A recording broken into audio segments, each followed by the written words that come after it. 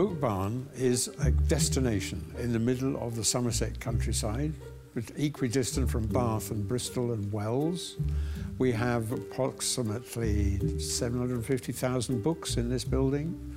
Most of those are our internet stock, uh, stock that we sell online through different virtual uh, marketplaces, but also through our own websites and through to the general public who come to visit. So Book is uh, also a destination. We have a great cafe, we have the Darwin Rare Book Room, and we have the general bookshop for the public. Book Barn operates like a huge filter, finding um, second, third, and sometimes a fourth new life for used books. The greatest part of our business is our online market.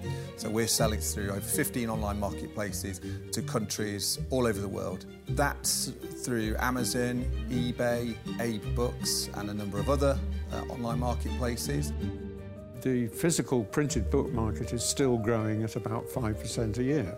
So that has an impact on us with second-hand books. And of course, second-hand books are much cheaper than new books. One of our sort of main purpose, or aim if you like, is actually to connect people to books and books to people. Um, and we are in a unique position here in that we can have people on our site. We're not just an online um, bookseller. We do do that, but we also have the whole strengths of the fact that people can actually come and visit us. They can come and see our shop. They can come and spend some time in our beautiful rare books room, um, which they love, by the way. We get a constant supply of books from libraries and the general public, and they always include a degree of antiquarian books that people don't know what to do with. We look them up, and if they have some value, they come into the Darwin Rare Book Room. Um, our stock of antiquarian books is um, bigger than, a lot bigger than most second-hand bookshops or antiquarian bookshops. We've also got um, Books by the Yard, which is um, a, kind of an interior design service. Um, so through that service, we sell books to um, movie sets, um, other bookshops, things like National Trust houses and things like that. People ask us, I have this space that I need to fill with books, and then our Books by the Yard team put together a bespoke collection for that specific need. So we've done, um, you know, BBC TV shows, we've done things like Marvel movies and stuff like that. We've created a fantastic team uh, here at the Book Barn.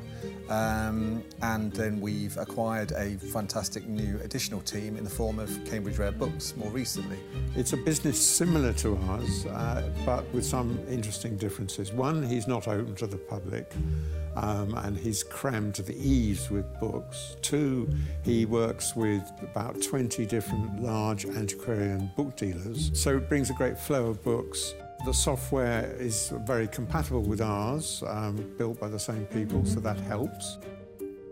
We receive tons of books on daily basis. Um, that's both from, um, from the public as a donation, but we also have a collection service in place where we go and collect books. We also offer a vendor service. A lot of our customers are interested in selling books through Book Barn. I think people are very aware of recycling and reusing and being environmentally friendly and that's what we do here.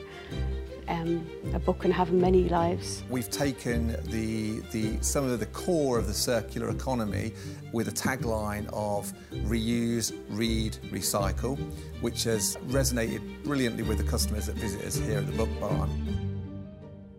A business that doesn't actually make anything, that sells things that already exist over and over again, is very uh, attractive. It fits very well within the new paradigm that we all should be adopting and will be adopting. The book industry has a future. Um, you know, it's an industry that is growing and changing all the time, and people are always going to love books.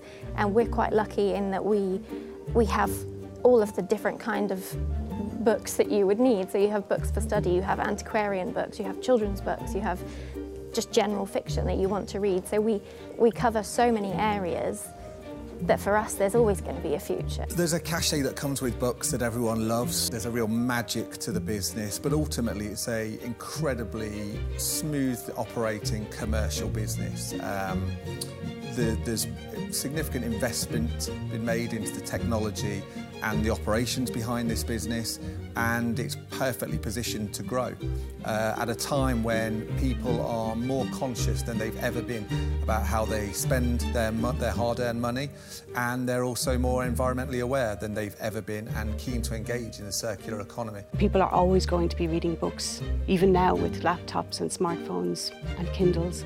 Everyone still goes back to that bookshelf and pulls out their favourite book on the shelf. People love books. They always will love books.